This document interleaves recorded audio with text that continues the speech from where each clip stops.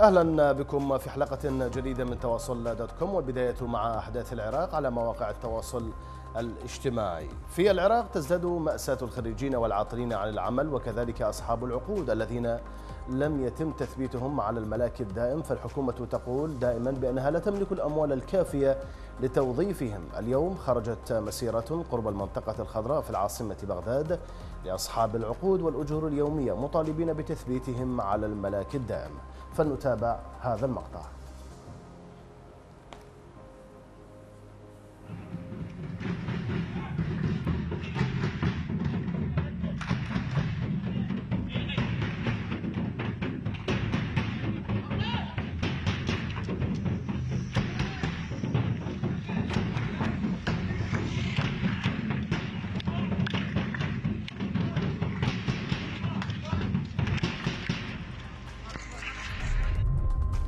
مقطع آخر لنفس التظاهرات ومن أمام إحدى بوابات المنطقة الخضراء في بغداد لموظفي العقود والأجور اليومية. فلنتابع.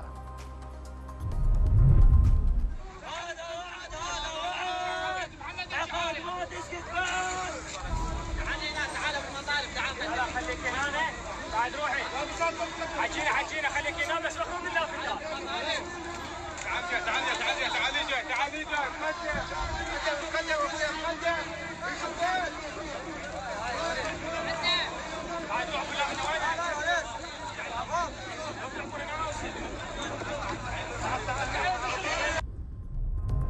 أما في محافظة المثنى فقد خرج أصحاب العقود في دائرة الصحة في المثنى أمام دائرة الصحة بالمحافظة وذلك لعدم صرف رواتبهم منذ شهرين. دعونا نتابع هذا المقطع من محافظة المثنى ومن أمام دائرة صحة المثنى.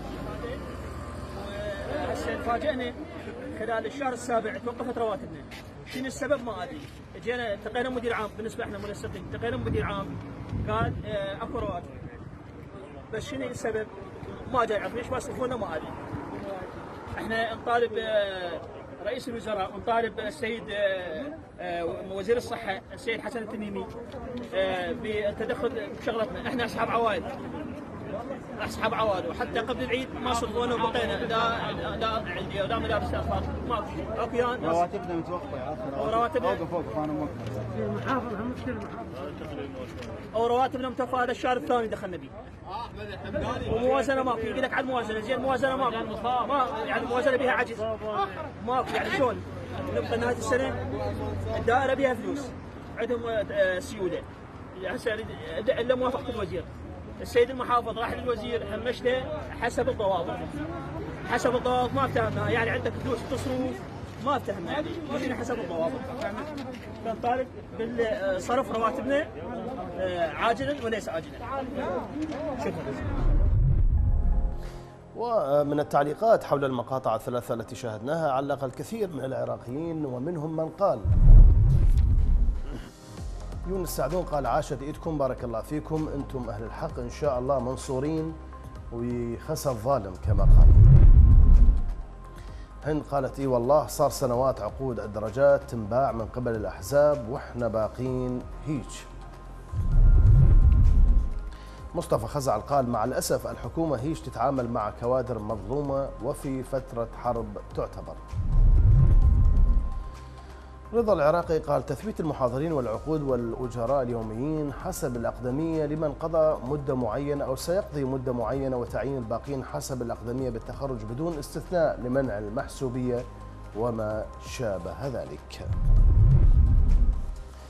في ناحية أو في محافظة ذي قار في ناحية العقيقة جنوب المحافظة تجددت اليوم التظاهرات المطالبة بالخدمات وإقالة جميع المسؤولين هناك. فلنتابع هذا المقطع من محافظة ذي قار.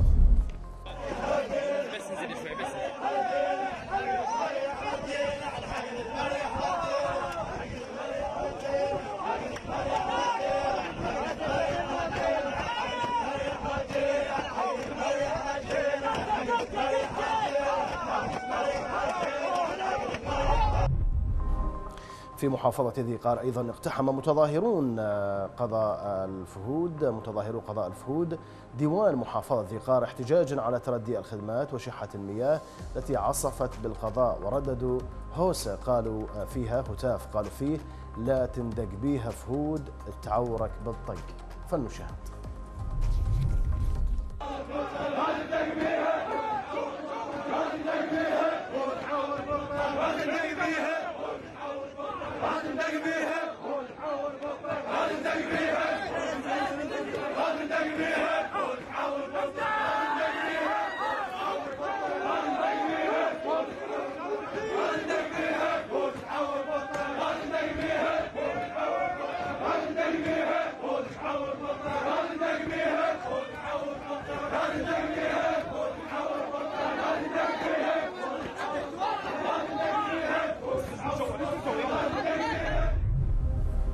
ومن التعليقات على موقع فيسبوك للتظاهرات والاحتجاجات في محافظة ذي قار منهم من علق وقال سجاد نعمة قال ما أعتقد الوضع راح يتحسن واحتمال الأمور تسوء أكثر من قبل لأن الحكومة ما جاي تبطل فساد.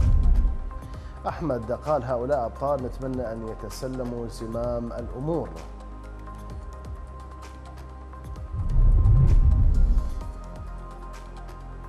زهير قال المتحزب لا يصلح أن يكون مسؤول بكل مكان يقول طز بالأحزاب.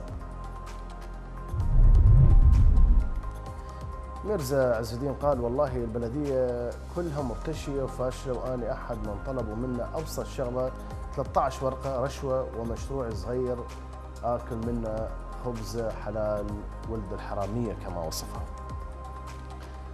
إلى محافظة البصرة ومن أمام المستشفى التعليمي في البصرة. كوادر مسحة كورونا تأخروا بالذهاب إلى العمل مما شكل طوابير كبيرة للناس وفي ظل انتشار فيروس كورونا. وارتفاع درجات الحرارة ودون مراعاة للتباعد الاجتماعي ولا اكتراث من قبل إدارة المستشفى. دعونا نتابع هذا المقطع من أمام المستشفى التعليمي في محافظة المستشفى البصرة. التعليمي كلها على المسح هاي كلها نفر واحد جاي ويا الوادم هاي كلها بيها كورونا كلها مصابة كلها جاي تفحص. زين هاي حتى إذا ما بي كورونا يجي هم يتمرض. شوف هاي الوادم كلها مصابة. من البارحة بالتسعة من البارحة بثلاثة الظهر بالتسعه بالليل ما اجى دكتور المسحة وهسه من الصبح هسه هاي الوادم مكاني هاي العالم كلها ضاله شوف هاي كلها بيها كورونا الوادم. كلها جاية على مسحات. لحد الآن ولا بشر جاي لنا ولا واحد مقلبنا. شوفوا هاي الوادم كلها. الله يقبل محمد يقبل. ليش؟ يعني حتى الما بيشي هسه يتمرض من الهوسة. موظف واحد وهاي الوادم كلها عليه وين يلحق؟ وحتى الموظف راح. الوادم هاي كلها مرضى كلها بيها كورونا الوادم على المسحات باعوا طيب من البارحه لهسه شوفوا. عارفين الدوام. مو مسحة هاي. شوف الوادم هالحال حتى الصاحي هسه ذا يطب هنا يا مدير بخير ماك واحد بخير حتى هسه الصاحي يتخربط هنا السوداء ما الفائدة من أخذ مسحة لفيروس كورونا في ظل هذا الاكتظاظ الكبير داخل المستشفى؟ دعونا نتابع التعليقات على موقع فيسبوك من العراقيين من علق وقال حيدر قال وضع مأساوي جدا تعيش البصرة. حيدر العسكري قال بس أريد أعرف هي المسحة شيل رادلها؟ أخلي أكثر من دكتور يأخذ مسحة وافض المشكلة أشو اغلب المصابين محجورين بالبيوت؟ الظاهر أكو تعمد على ازدياد الإصابات. كما قال حيدر. سميرة الشمري قالت حسبي الله ونعم الوكيل من كل متهاون لا يساعد المرضى. علي قال المهم الأحزاب تعلق صور قادتها بالمستشفيات والوزارات. نعم. مذيعة قناة سي إن إن الأمريكية قامت بتوبيخ جبران باسيل على الهواء مباشرة وهو زعيم التيار الوطني الحر ووزير الخارجية السابق آه، للبنان قائلة له أنت من النخبة الفاسدة ولا تمثل اللبنانيين دعونا نتابع هذا المقطع Mr. Bazil, I invite you onto my show today, not because you represent the voice of the majority of Lebanese people, because in fact you don't. For millions of Lebanese, you epitomise the nepotism and corruption of a ruling elite that has plunged this country into the pit of despair. I invite you on today as the leader of the biggest party in Parliament, with significant influence within the government, with oversight over the past decade of the energy portfolio, which has sucked up the equivalent of half of the national debt, and yet power uh, not on for 20 hours a day. I invite you on to ask you whether you will accept personal and professional responsibility for today's crisis.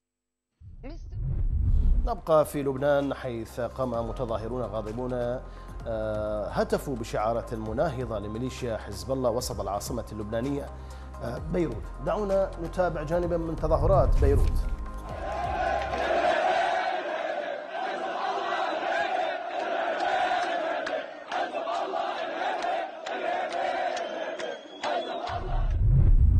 كما قام متظاهرون غاضبون لبنانيون بتعليق مشانق رمزية لزاعم ميليشيا حزب الله حسن نصر الله حسن نصر الله ورموز السلطة في لبنان. فلنتابع.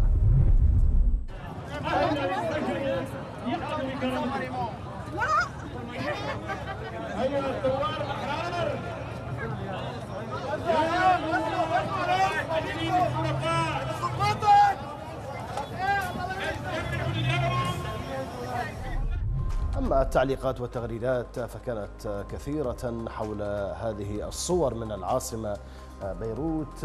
دعونا نتابع بعضا منها. إيمان صقر قالت يستاهلون مشانق على ظلم العباد وقتل الناس. أم علي قالت لا حول ولا قوة إلا بالله العلي العظيم. الله ينصركم والشعب العراقي من الحكومات الفاسدة. يا رب يا رب يا رب.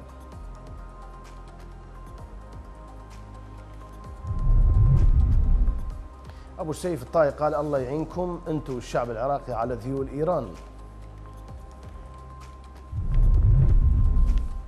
أحمد حسين قال ذهبت دولة لبنان التي كانت قبلة السياح من كل أنحاء العالم بسبب تلك الأحزاب التي تعمل وتمو وتمول من دول إقليمية دون مراعاة مصلحة شعوبها حتى أفقرت الشعب وأصبح يبحث عن رغيف خبز ولا يجده.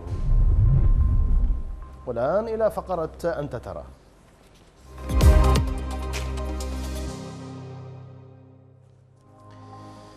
عبر خدمة أنت ترى التي توفرها قناة الرافدين لمشاهديها الأعزاء ليصوروا ما يشاهدونه حولهم من أحداث في العراق عبر هواتفهم النقالة. وصلنا اليوم مقطع مصور من الرحلة القادمة من بيروت إلى مطار بغداد بتاريخ السادس من أغسطس 2020 يعني قبل يومين. يبين المقطع الفوضى داخل صالة مطار بغداد وعدم مراعاة تفشي وباء كورونا من قبل إدارة المطار وتأخير المسافرين وجعلهم يقفون بشكل عشوائي دون تحريك ساكن من قبل إدارة المطار. دعونا نتابع هذا المقطع الذي وصلنا عبر بريد أنت ترى. ست عام الرحلة اللي جاية من بيروت لبغداد الساعة حاليا بالخمسة إحنا وصلنا بالأربعة يعني صار ساعة إلا تقريبا ننتظر بس الجنود من يطلعان وماكو أي وقاية صحية وماكو أي تباعد اجتماعي يعني إذا أكو واحد بكورونا يأذي العالم كلها. والمسؤولين عن المطار ماكو أي تحرك من عندهم ولا حركوا ساكن أساسا. ونرجو الانتباه على هذا الموضوع. إلى فقرة الخبر المزيف أعادت بعض مواقع التواصل الاجتماعي مقطعا ليتم تداوله من جديد بعنوان نقل أحد طلاب السادس الإعدادي بسيارة الإسعاف من القاعة الامتحانية بسبب إصابته بفيروس كورونا. دعونا نتابع المقطع. ابتعد يا ولد ابتعد عارف هم طالعين القاعة طلاب الخارج ابتعد يا ولد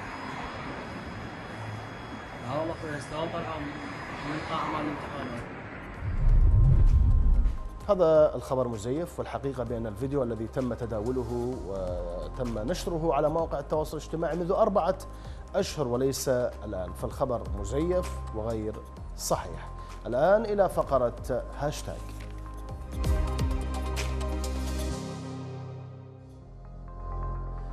يوم الثامن من أغسطس ذكرى انتهاء الحرب العراقية الإيرانية ويعرف بالعراق بيوم 8 8 حيث انتهت الحرب بعد ثماني سنوات بتاريخ الثامن من أغسطس من عام 1988 ويطلق عليه يوم النصر العظيم. يوم أمس وافقت الذكرى الثانية والثلاثين ليوم النصر العظيم حيث أطلق نشطاء عراقيون على مواقع التواصل الاجتماعي واسما بعنوان يوم النصر العظيم. هذه الحرب قدم فيها العراق الكثير من الأرواح والأموال لصد المشروع الإيراني في المنطقة الذي اليوم نراه يتغول في بغداد ودمشق وبيروت وصنعاء ويحاول زعزعة الاستقرار في دول الخليج العربي. دعونا نتابع بعض من التغريدات على موقع تويتر تحت وسم يوم النصر العظيم. رعد بندر قال أضاعوني وأي فتى أضاعوا ليوم كريهة وسداد ثغري. شاعر قديم قال 8 8 1988 اليوم الذي لن ينساه لا من رفع راية النصر ولا من تجرع سم الهزيمة. عدنان حمد المدرب العراقي قال 8 8 1988 يوم الأيام كما كان هذا اليوم عظيما وخالدا. يوم الانتصار التاريخي على المشروع الإيراني لتدمير المنطقة العربية لكنه اليوم تتضح قيمته أعظم وأكبر يوم النصر العظيم. دكتور لقاء مكي قال احتفال العراقيين بذكرى وقف الحرب مع إيران هو في أساسه تذكير لطهران بأنها سبق وهزمت أمامهم. فلا تفرح كثيرا بنفوذها في العراق. اليوم الأيام دول ومثل ما حدث من قبل سيحدث لاحقا. يوم النصر العظيم. عثمان المختار الصحفي العراقي قال يا حوم اتبع لو جرينا. 8 8 1988 يوم من أيام الله الفاتحة وصلوات ربي على الرجال الشم بهذا اليوم الأغر يوم النصر العظيم. أما الآن إلى فقرة بعد الهاشتاج.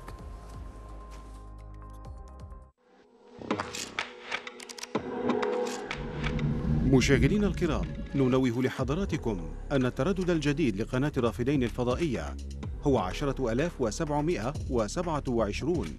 الاستقطاب أفقي على مدار القمر نايل سات. لذا يرجى من متابعينا الكرام ضبط أجهزة الاستقبال على التردد الجديد.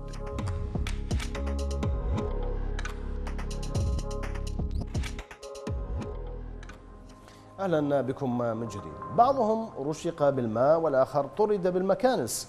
سياسيون لبنانيون يطردون من شوارع بيروت، دعونا نتابع التقرير التالي الذي أعده موقع على العربي حول هذا الموضوع.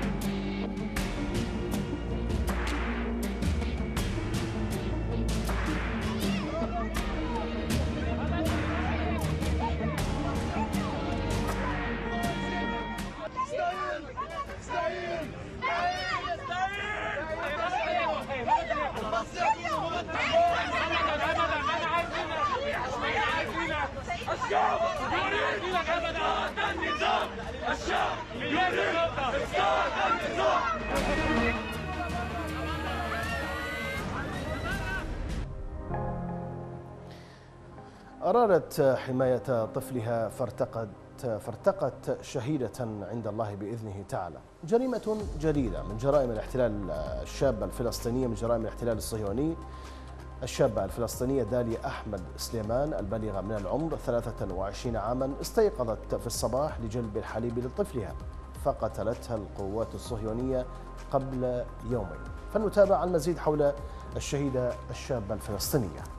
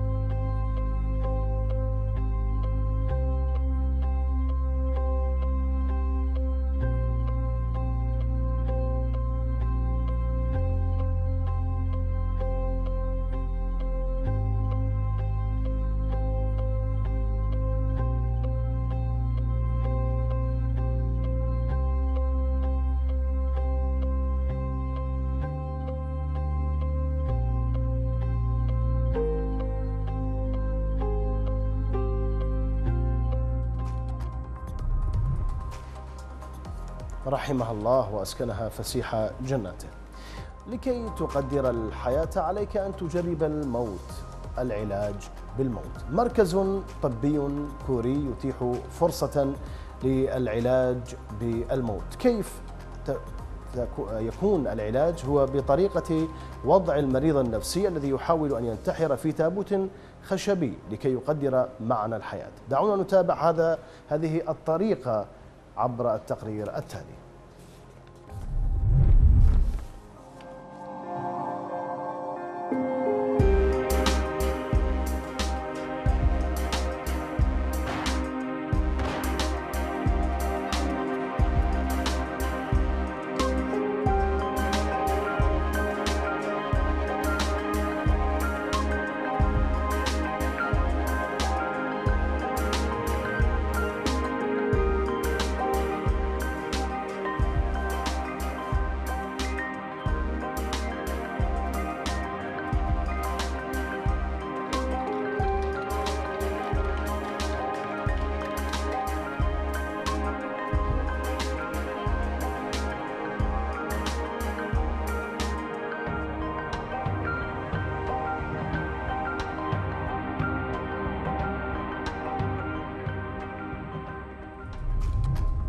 لا تيأسوا من روح الله ومن رحمة الله. وصلنا إلى نهاية هذه الحلقة أعزائي المشاهدين. شكرا لكم وإلى اللقاء بإذن الله.